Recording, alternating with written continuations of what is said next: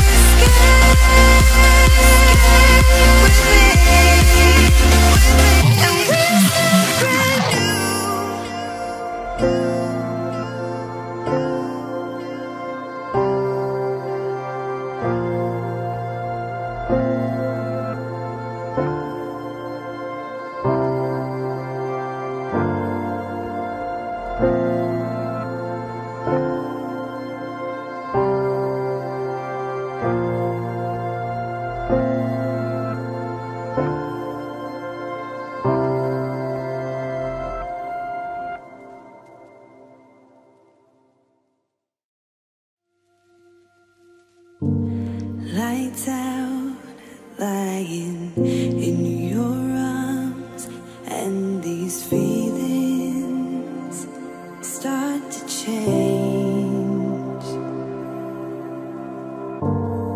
One look into your eyes